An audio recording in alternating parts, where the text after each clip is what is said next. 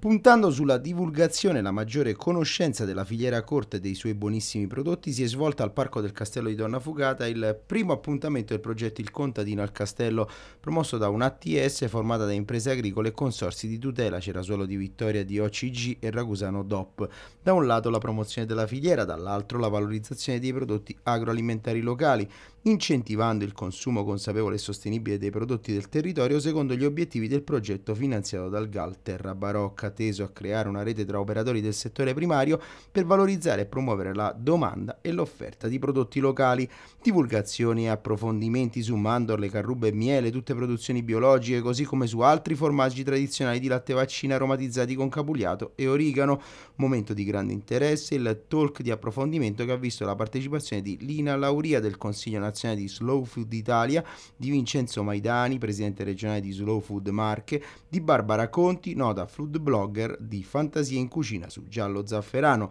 Durante il dibattito sono stati discussi temi cruciali come la sostenibilità, l'importanza del consumo consapevole e le strategie per promuovere i prodotti della filiera corta.